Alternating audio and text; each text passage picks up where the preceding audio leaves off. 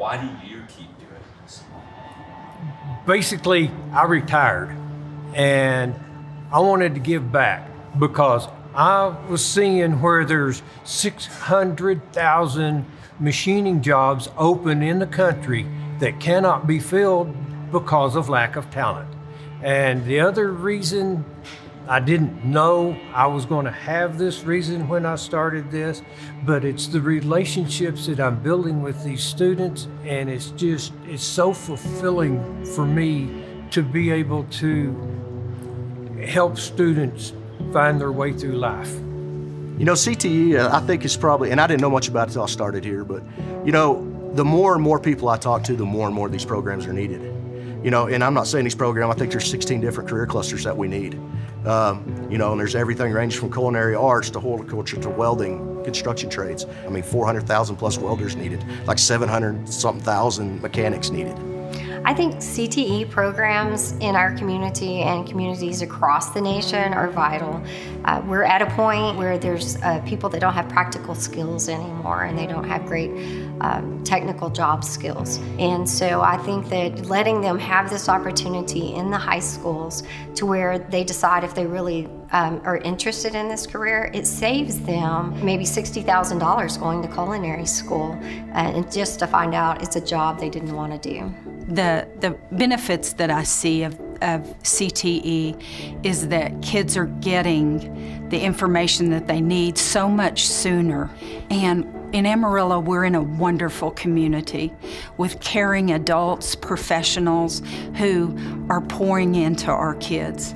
All the preparation my freshman, sophomore, and junior year in the CTE program has allowed me to go out into the community and get this pro internship. Whereas originally I started as a doctor, now I know because of my experience out in the field and getting to learn from people that I actually want to be involved in mental health. And I just, without CTE, I would have never found that career path until later in life, or I may never have found it. I may have never had that opportunity. Without CTE, I definitely would not have kind of found what I've wanted to do, I will guess I would still be in the traditional high school setting. And the knowledge gained from the CTE program has prepared me to go into my pro internship. And from there, I've learned real engineering type skills and collaborative work from a team at an actual company. And so that can be applied to my future aspirations. Just like ACAL's been doing for the last 20 years, bringing students from all campuses here to learn in their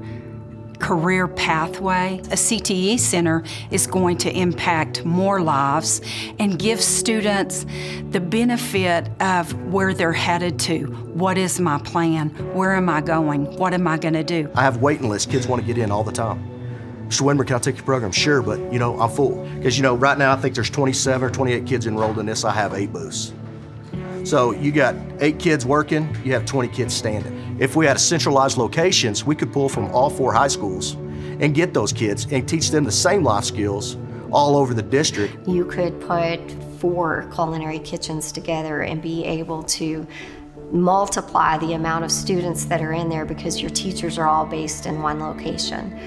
With the way that we're set up on individual campuses right now, um, there's really no way that I could teach more than 75 culinary students um, a year. I think a centralized CT location is a great idea. Right now, I'm the only teacher on campus that teaches architecture. And being able to bounce back ideas in a central place with, and, and not even just ideas, project. Um, we could look at where in architecture we actually provide a blueprint with details and we pass it on to framers. And we have the HVAC guys come in. We can make small scale models and or we could even start building houses for the community. We are desperate in this area for, for students to graduate with skills that they can immediately get a great job, even if they go on to college, even if they go on to a trade school. They're going to have to work while they're there.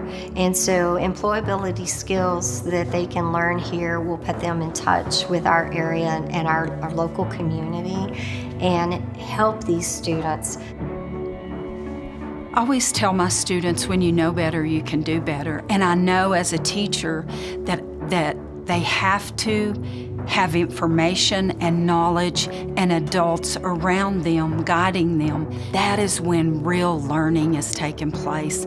When they're motivated, when they're interested, when there's buy in. And that's what a CTE program does for you.